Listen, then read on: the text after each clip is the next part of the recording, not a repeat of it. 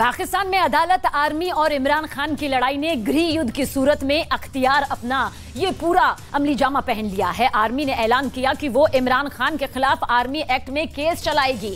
In act के तहत आरोप साबित हुए तो इमरान खान को फांसी तक हो सकती है। इमरान को इस फांसी से अब अदालत भी नहीं बचा सकती क्योंकि सुप्रीम कोर्ट के चीफ जस्टिस को शहबाज शरीफ सरकार बर्खास्त करने जा रही है।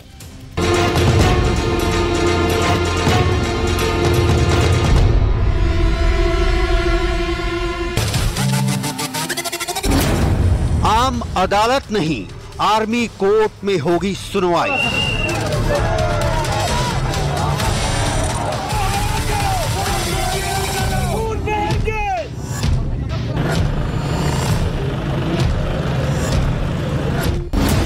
जनरल लिखेंगे इमरान के आतंकवादी होने का फैसला।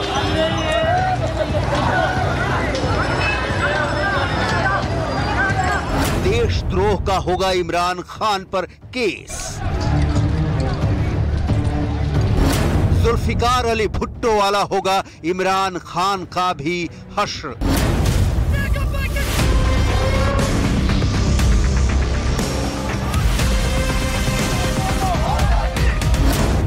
इमरान खान बनाएँगे आतंकवादियों की पार्टी। क्या नाम भी सोच लिया है? पीटीआई मतलब पाकिस्तान तालिबान इमरान।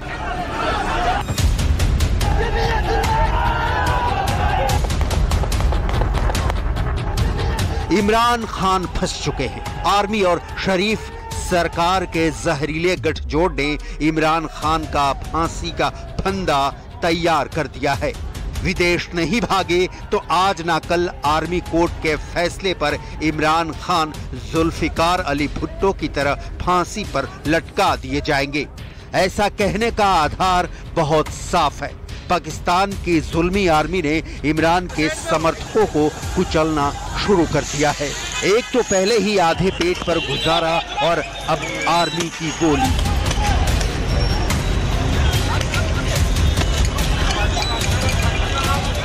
हथियारों का प्रदर्शन 9 मई को जिस तरह से तहरीक इंसाफ के कारकुनों ने पूरे पाकिस्तान में किया, उसे देखते हुए अंदाज़ा लगाना बिल्कुल आसान है कि इमरान खान आतंकवादियों की फौज चाहे तो महीने भर में खड़ी कर सकते हैं, क्योंकि इमरान खान को अब अदालत भी नहीं बचा सकती। इमरान खान चाहे जितना सीना चौड़ा कर लें, आर्मी कोर्ट में आतंकवादी ठहराए जाएँगे। मतलब इमरान खान पर आर्मी तब तक केस चलाती रहेगी जब तक इमरान को फांसी पर लटकाने का फैसला ना हो जाए।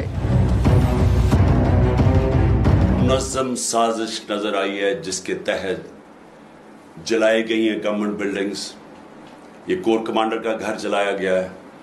जो भी मुझे पता चला है कि तकरीबकारों को बीच में डाला गया बंदूकें लेके, उन्होंने लोगों को इश्तियाल दिया। हमारे पास अब वीडियो एविडेंस है इसकी। मैं ये चाहता हूँ कि एक इंडिपेंडेंट इंक्वायरी हो। इमरान खान पर आर्मी एक्ट की धारा उनसठ और साठ के तहत केस दर्ज किए गए हैं। इसमें धारा उनसठ के तहत मौत की सजा का प्रावधान है।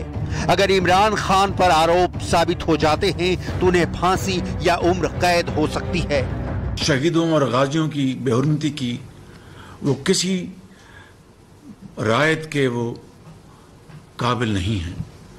उनको हर सूरत कानून के कटहरे में लाना होगा। और अगर वज़ीर आज़म भी कहे कि इस फलां को छोड़ दो तो वज़ीर आज़म का हुक्म मानने से इनकार कर दो। इमरान खान का क्या होगा? क्या इमरान खान आतंक के रास्ते निकल जाएँगे? क्योंकि तालिबानियों से गलबहियाँ करने में कप्तान साहेब भी पीछे नहीं रहे हैं। इनकी सरकार को तो आतंकवादियों ने खुला संरक्षण दिया था और खान साहेब भी वक्त बेवक्त तालिबान का कसीदा पढ़ते रहे हैं। वैसे भी पाकिस्तान की सत्ता आतंकवादी पैदा करती है। और इमरान खान साहब, आपने ये मंसूबा बंदी करके आपने ये मासूमियत का चेहरा और झूठ और फ्रॉड पाकिस्तान की आवाम से ना करें, पाकिस्तान की आवाम के दिल दुखे हुए हैं। और ये वो शख्स है जिसकी पूरी सियासत, इंतशार, फसाद और मुल्क के खिलाफ साजिश और दुश्मनी है। पाकिस्तान की हुकूमत वो माहौल तैयार करती है जहाँ आतंकवाद पनप सके, उसके बाद उसे संरक्षण देती है और फिर छोड़ देती है अवाम के बीच दहशतगर्दी के लिए। पाकिस्तान में इसी आतंक के पालने में क्या एक और टेरर ग्रुप तैयार हो रहा है, जिसके पास हुकूमत में रहने का तजुर्बा भी है और सियासत का खेल भी खेलती है?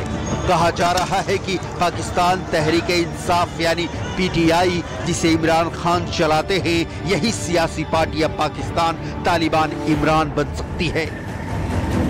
क्या विद्रोह की आग को इमरान आतंकवाद के खून से रंग देंगे? मतलब खुल्लम खुल्ला सियासी भेष में खौफ का खेल होगा। ऐसा नहीं है तो पाकिस्तान में इस वक्त हर कोने से आतंकवाद की आवाज़ क्यों आ रही है? क्योंकि इमरान खान को आतंकवादी साबित करने और उनकी पार्टी तहरीक इंसाफ को बैन करने की तैयारी चल रही है। क्यों देश के चीफ जस्टिस का भरी संसद में अपमान किया जाता है? उसके फैसले को संविधान के खिलाफ ठहराया जाता है। ये प्लान है। प्लान था पहले से लंदन प्लान तहरीक इंसाफ को बैन करना है, इमरान खान को जेल में डालना है। इनके लोगों को हरासा करके जेलों में डालना है, खौफ सदा करना है, ताकि कोई निकले ना। ये है प्लान पाकिस्तान की संसद में जो कुछ हुआ, वो पाकिस्तान के अंधकार में भविष्य का सबसे ताज़ा उदाहरण है। पाकिस्तानी संसद में चीफ जस्टिस को हटाने की तैयारी शुरू हो गई है। सुप्रीम कोर्ट के चीफ जस्टिस उमर अता बंदियाल ने इमरान खान की गिरफ्तारी को अवैध ठहराया था। चीफ जस्टिस की सास इमरान खान की पार्टी की बड़ी नेता हैं। लिहाजा शहबाज शरीफ सरकार का कहना है कि चीफ जस्टिस सुप्रीम कोर्ट के अंदर बैठकर राजनीति कर रहे हैं, उन्हें इस्तीफा दे देना चाहिए। शरीफ ने पाकिस्तानी संसद में बाकायदा एक प्रस्ताव पास कराया है, जिसके ज़रिए चीफ जस्टिस को बर्खास्त किया जाएगा। इसके लिए शरीफ सरकार ने एक कमेटी का गठन भी कर दिया है, जिसमें चीफ जस्टिस को हटाने की पूरी प्रक्रिया तैयार की जाएगी। मिल गए हैं मिलिट्री और सरकार। पाकिस्तान में अब खैर नहीं इमरान खान। अदालत को नीचा दिखाया जा रहा है और दूसरी ओर पाकिस्तानी सेना ने अपने ग्रुप को भी एक्टिवेट कर दिया है। आर्मी ने इमरान खान को ये दिखाना शुरू कर दिया है कि सिर्फ़ उनके पास ही समर्थक नहीं है। आर्मी के पास भी लाखों लोग हैं जो एक इशारे पर पाकिस्तान में आग लगा सकते हैं। प्रदर्शनकारियों के ज़रिए आर्मी ने सुप्रीम कोर्ट को ये चेतावनी देने की कोशिश की है कि ये लोग भी देश में कोहराम मचा सकते हैं और खून खराबा कर सकते हैं।